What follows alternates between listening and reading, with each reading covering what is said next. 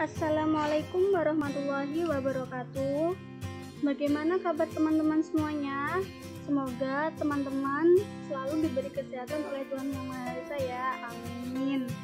Perkenalkan, kami dari kelompok 5 kuliah kerja lapangan yang beranggotakan Fitratul Nur Aziza dengan NIM 080, Salia Ainun dengan NIM 085, dan Dewi Siti Rokana dengan NIM 086.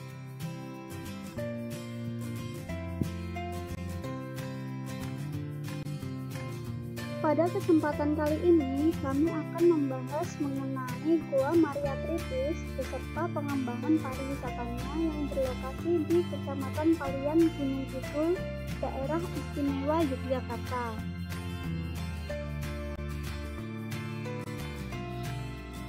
Analisis kajian yang kami lakukan pada objek penelitian menggunakan pendekatan peruangan berdasarkan pola dan menggunakan pendekatan ekologis berdasarkan aktivitas manusia.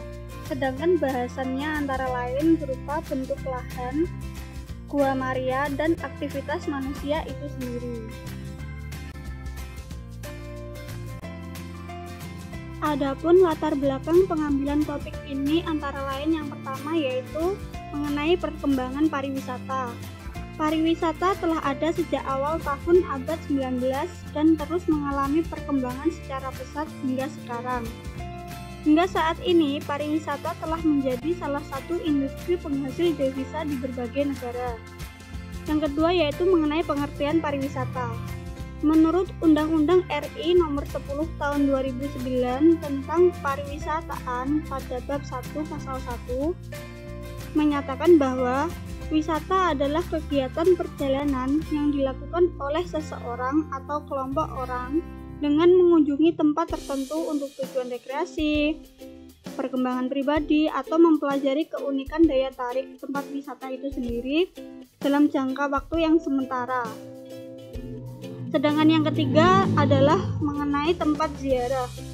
Wisata ziarah merupakan salah satu kegiatan pariwisata yang cukup diminati oleh masyarakat Indonesia. Wisata ziarah berkaitan dengan kepercayaan atau adat istiadat masyarakat setempat. Yang terakhir yaitu Gua Maria Tritis itu sendiri. Gua Maria Tritis diresmikan sekitar tahun 1979 oleh Romo Lamers dengan memasang patung Bunda Maria. Sejak saat itu, tempat itu dinamakan Gua Maria Tritis. Gua Maria Tritis kini tidak hanya menjadi objek wisata ziarah untuk umat Katolik saja, melainkan terbuka untuk masyarakat umum. Walaupun jalan untuk menuju ke daerah tujuan wisata rohani ini naik turun dan berliku-liku, namun tetap menarik minat para pengunjung.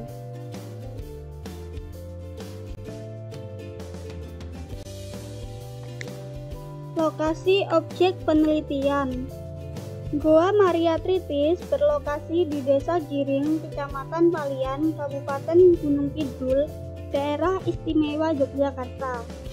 Goa ini memiliki letak astronomis 8 derajat 4,959 menit lintang selatan dan 110 derajat 33,402 menit bujur timur berjarak 53,8 km dari pusat kota Yogyakarta dan dapat ditempuh sekitar 90 menit menggunakan kendaraan roda 4. Lokasi ini memiliki batas-batas administrasi sebagai berikut, yaitu yang pertama pada sebelah utara berbatasan langsung dengan Kecamatan Wonosari, sedangkan di sebelah timur berbatasan langsung dengan Kecamatan Tanjung Sari, di sebelah selatan berbatasan langsung dengan Kecamatan Tanjung Sari juga, dan di sebelah barat berbatasan dengan Kecamatan Saptosari.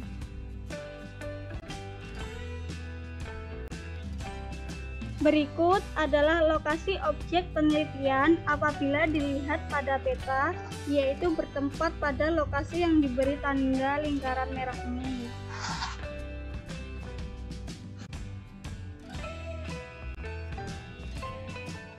Berikut adalah analisis kondisi alam dan sosial objek penelitian yaitu Goa Maria Tritis. Adapun yang pertama yaitu analisis kondisi secara geografis. Gua Maria yang berada di Kecamatan Palian berada pada ketinggian 0 hingga 3000 meter dengan kemiringan 15 hingga 25 persen.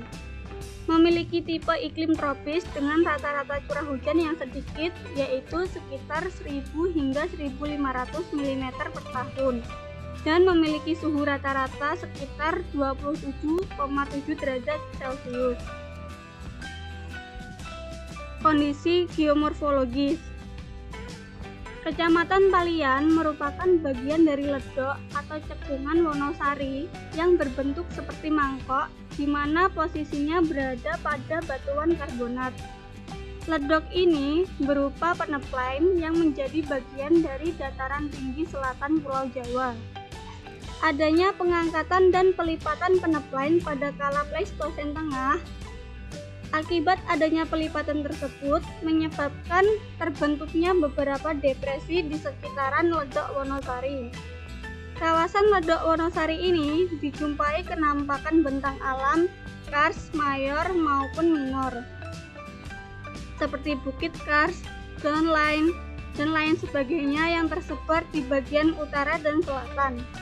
Hal ini menandakan bahwa ledok Wonosari telah mengalami proses kartifikasi.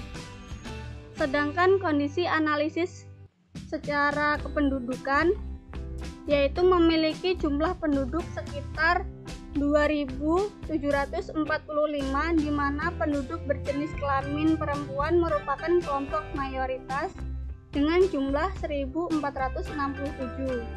sedangkan penduduk laki-laki sejumlah 1.278 jiwa. Kepadatan penduduk berkisar 270 penduduk kilometer per kilometer persegi. Sebagian besar penduduk berprofesi sebagai petani.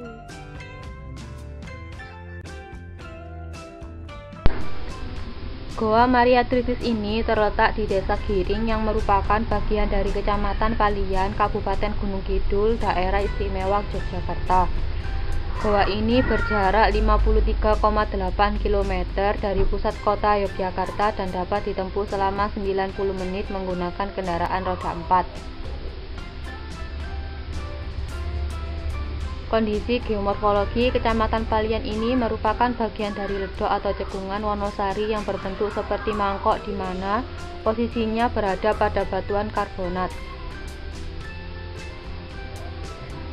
Analisis fenomena geosfer Secara genetik bentuk lahan, goa ini terdiri dari kars dengan spesifik goa kars.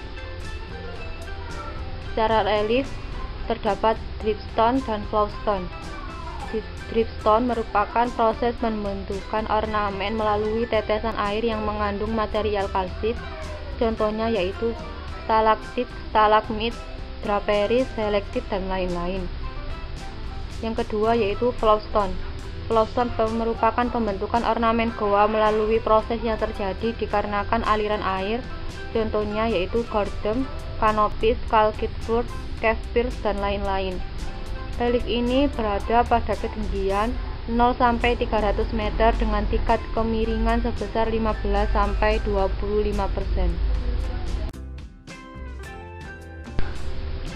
Proses utama pembentukan bentangan alam kars adalah pelarutan, di mana air akan melarutkan kalsium karbonat yang ada sehingga nantinya akan membentuk bentukan stalaktit dan stalagmit serta dan lain-lain. Materialnya yaitu berupa batuan gamping dan dolomit. Strukturnya terdiri dari zona fisiografi pegunungan selatan Jawa bagian timur dan merupakan irisan dari sayap Gentiklin dengan ciri khas batuannya yaitu miring ke selatan.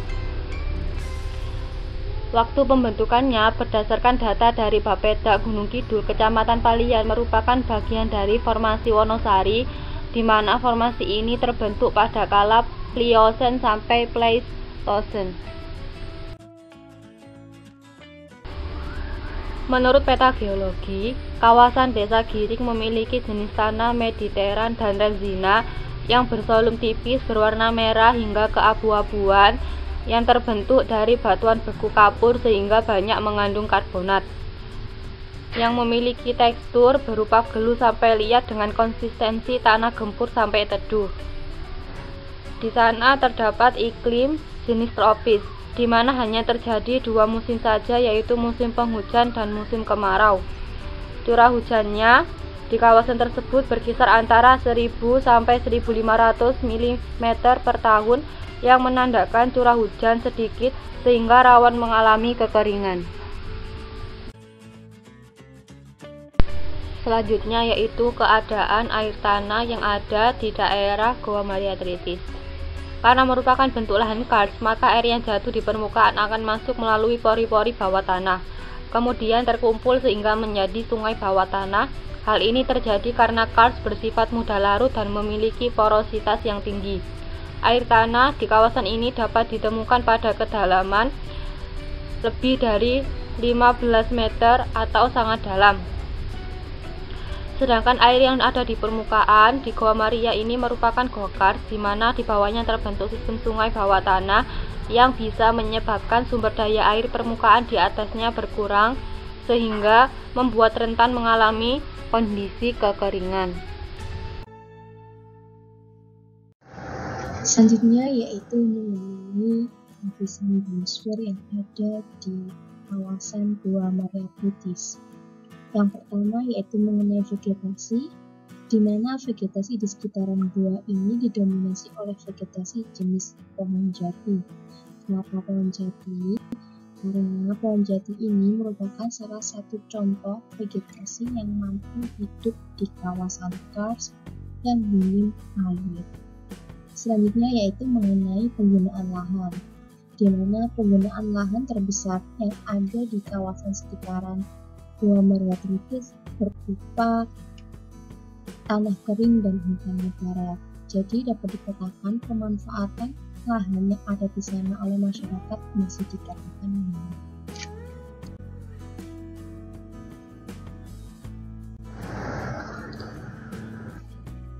Dan lapisan yang terakhir yaitu lapisan antroposfer, di mana pada lapisan antroposfer ini kami memfokuskan pada kegiatan sosial atau aspek sosial ekonomi masyarakat.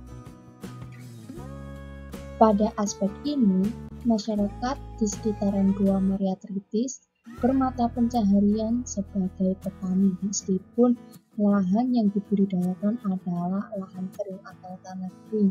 Selain itu, juga ditemukan masyarakat yang berpencaharian lain seperti sebagai pedagang, tukang ojek, dan sebagainya.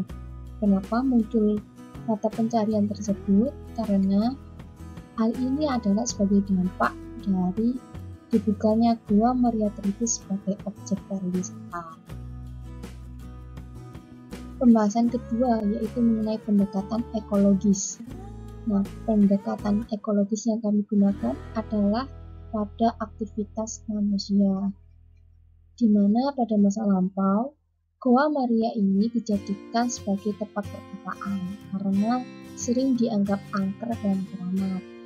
tetapi, seiring dengan berjalannya waktu, semakin banyak orang yang datang berkunjung sehingga pada akhirnya Goa Maria ini dibuka dan dijadikan tempat wisata religi, khususnya bagi umat Kristiani. Lalu mengenai pendekatan keruangan. Pendekatan keruangan yang terdapat di kawasan Gua Maria Kritis didasarkan pada pola keruangan, yaitu berbentuk memosat atau mengelompok pada titik-titik tertentu. Mengingat di kawasan gua ini merupakan kawasan dataran tinggi. Lalu bagaimana sih strategi pengembangan pariwisata di Pulau Bugis? Pembangunan pariwisata memerlukan kebijakan dan perencanaan yang sistematis. Nah, untuk tercapainya sebuah perencanaan yang sistematis, diperlukan sebuah proses perencanaan strategis. Yang pertama yaitu mempertajam dan memantapkan ciri kepariwisataan, di mana pada Goa Maria ini, ciri kepariwisataan yang menonjol adalah objek gua Kars itu sendiri dan atraksi yang berupa ornamen-ornamen gereja seperti patung Yesus dan Bunda Maria sehingga cocok sekali dijadikan sebagai objek wisata bagi umat Kristiani berdoa. dengan disuguhi oleh keindahan alam yang ada. Yang kedua yaitu meningkatkan mutu tenaga kerja. Kualitas tenaga kerja sangat mempengaruhi perkembangan suatu objek wisata. Karena apa? Apabila kualitas tenaga kerjanya baik, maka pengembangan pariwisata yang ada juga akan semakin baik. Nah, peningkatan ini dapat dilalui dengan melakukan sebuah pelatihan atau memberikan pelatihan-pelatihan khusus tentang pengelolaan pariwisata.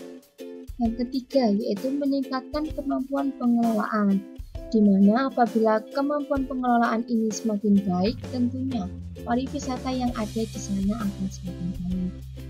Yang keempat yaitu memanfaatkan produk yang sudah ada. Nah, produk yang sudah ada ini adalah berupa goa, di mana kita harus menjaga kelestarian goa itu sendiri dan menjaga keaslian di dalamnya, supaya masyarakat itu tahu bagaimana sih kondisi alam yang ada di Goa Maria Kritis sehingga akan mendapatkan ketenangan dan juga keindahan alam yang begitu menakjubkan. Dan yang terakhir yaitu melakukan promosi. Dengan dilakukannya promosi tentunya akan memberikan wawasan baru kepada masyarakat tentang objek wisata berupa Gua Maria Kritis sehingga diharapkan nantinya akan menarik banyak wisatawan baru.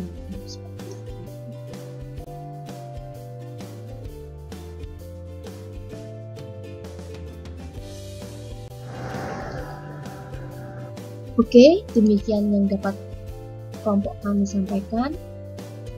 Kurang lebihnya mohon maaf bila ada salah kata dan terima kasih kami ucapkan atas perhatian para penonton.